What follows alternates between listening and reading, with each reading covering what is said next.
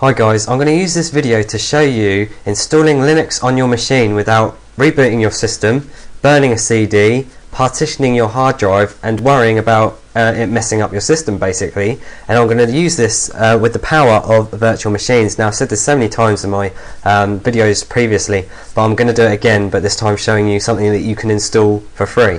So I've got an, an installation, uh, well, an ISO image of Ubuntu which you can download for free from the internet. I'll provide the link to this in the description, and I'm going to use VirtualBox um, to show you how to install it, so you can basically test out Linux. So I'm going to double click this, and I'm going to install VirtualBox. So I'm going to say next, accept, next. I'm going to install everything, next, install. So it's now installing the virtual machine program to actually run these virtual machines. Now I've had people telling me they've had problems, I've had people telling me that um, they don't know what a virtual machine is. So I'm just going to continue this. It's best to see it in action just to show you it. So finished. I'm now going to go into the VirtualBox program. So we're now opening the VirtualBox program. Uh, it's asking me to register, so I'm just going to say A. My name is A, and I'm A at A.com. Confirm. Congratulations, I've registered. there we go. So, uh, VirtualBox main program, I'm going to say new. Uh, it's going to say new virtual machine, so we're going to make a new PC in my PC. I'm going to call it Ubuntu, and the OS type is going to be Linux 2.6. Now you can do this yourself, just follow along. You may want to rewind a little bit if I'm going a bit too fast. It's just to fit everything in 10 minutes. So the recommended base memory is 256 megabytes. I'm going to increase this a bit because I've got some to waste because it's going to use your RAM so I'm going to use 730. So I'm going to say next. It says there's no hard disk at the moment. We need to make one. So I'm going to say new. It says create new virtual hard disk. Next. A dynamically expanding image. Now all that means is that there's going to be a file on your hard drive that's going to gradually get bigger the more space you use inside your virtual machine. So I'm going to say next. I'm going to call the image file Ubuntu. Um, I'll put it as Ubuntu Linux or something. And uh, the image size at the moment is going to be 8 gigabytes. So next and finish. So um, this is our new hard disk we're going to use. I'm just going to say next and we're pretty much done. Name's Ubuntu, OS type is Linux 2.6. My RAM is 734 megabytes inside the machine, which is going to use from mine, and the hard disk is going to be a file on my on my disk, uh, which is 8 gigabytes large. And it's going to use it inside the virtual machine. So I'm going to say finish, and uh, that's all you need to do in terms of making the virtual machine and then all you need to do is start and it's going to start it as if it was um, starting the PC as if you press the on button. So it says you have the auto capture keyboard option. So whenever I go into this um, virtual machine my keyboard is going to be uh, using the keyboard inside the virtual machine.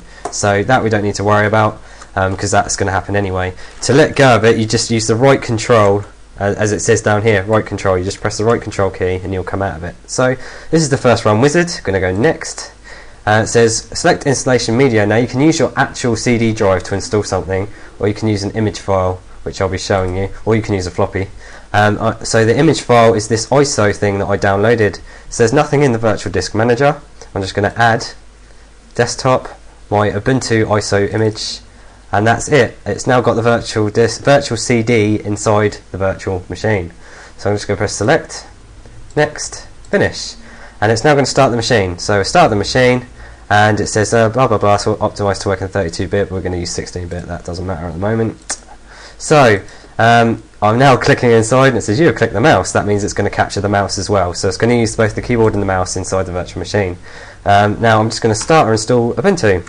So I've just pressed right control to come out of it so I can move the screen recorder around because when I click inside I can't control the screen recorder because the mouse is inside the PC. So as you can see it's now booting up Ubuntu, the live version that's on the CD. Now you may know if you put a CD in your drive, this, this Ubuntu, it will run a live version so you can check it out and then you can install it. But what we're actually going to do is we're actually going to install it. So it just makes it a lot easier. Now you notice it's loading a lot faster than it would do if you put your CD in. That's because it's running off a file on my hard drive and not a CD in my CD drive. So um, the read and write speeds are faster. So it's now booting into Ubuntu. So all we're going to do is once it's loaded we're going to click install. So you'll notice that it's reading off the CD here. It's also reading off a network because you can actually connect to the internet because it uses your connection through the network. and the uh, hard disk. So I'm just going to click on this install. Now you can't see because the thing isn't following me, which is quite annoying. But I've just clicked install. Uh, it says live session user up here, but that, that doesn't matter. So this is the install box, ready to install. We're just going to answer a few questions. This is asking me for the language. I'm going to press forwards. And uh, the time zone is New York, that's fine and uh, US English is the keyboard. I'm not really bothered about the settings for the time being. So it's now setting up the partition now. It's saying guided use entire disk. That's what we want it to do. So I'm saying forwards, and it's um, making the new partitions for me. And what is my name? Now I need to remember this because my last one didn't do it. So I'm, I'm Duncan. Um, no, can't spell my own name. Duncan. Um, my uh, name is Duncan, and my password is going to be poo. So I've got to remember that my uh, username is Duncan and my password is poo. So I'm just going to go forwards and install. And that's pretty much all you need to do because you now set it up to install on your virtual hard disk. It's going to format your hard disk and it's going to install Ubuntu onto it. Now you can see that it's working quite hard between the uh, CD and the hard drive. Uh, these are basically the same things as you'd find lights on your PC.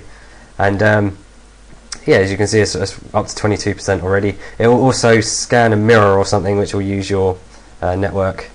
And you can see there's some stuff happening here, but we're not bothered about that. So it's just going to install Linux, uh, install Ubuntu for me, and um, uh, I'm then going to uh, come back into this when this has reached 100%. So uh, I'll be back in a second. Guys, we're back, and you can see that the installation is now complete. So I can now restart the system and it's uh, very quickly restarting. So you can see that it's um, fairly easy to use um, to install and get it up and running. Uh, saying please remove the disk and close the tray. So I'm just going to right click the CD down here and say unmount CD DVD-ROM and press enter. So it's now going to reboot the system. So there we go.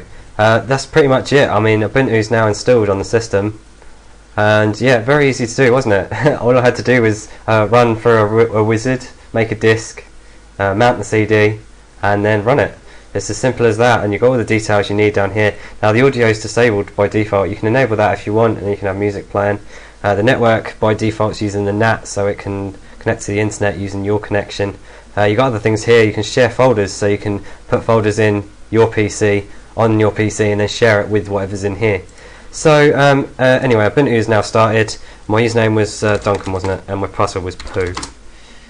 So you can now see that I'm inside Ubuntu, and I hadn't, I didn't need to burn a CD. I didn't need to restart my computer, and I can now test out uh, Linux to see what it's like, see if I like it.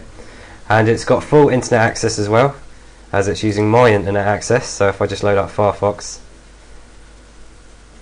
now I haven't tried this, but I'm going to try and install the uh, additions thing in a second. So I'm just going to load up Google. You can um, see that it's already connected to the internet, and it says uh, software updates available. Click on the notifi notifications, so you can see it's loaded up Google. So I've got internet access as well. So um, I'm just going to try and install. You can go to devices and then install guest additions. Now I'm not sure how this works because I previously used VMware. Uh, yes, you have to run something else. So um, yeah, I'm not sure which one this is uh, because I haven't really used it.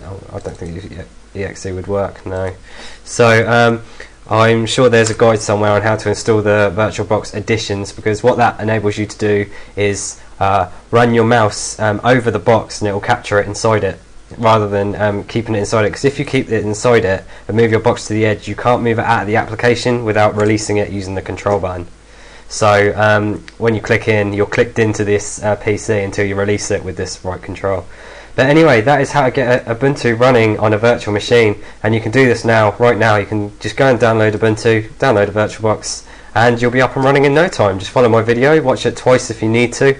And um, thanks for watching my video. Uh, please comment, rate, subscribe if you like my videos, and uh, thanks again.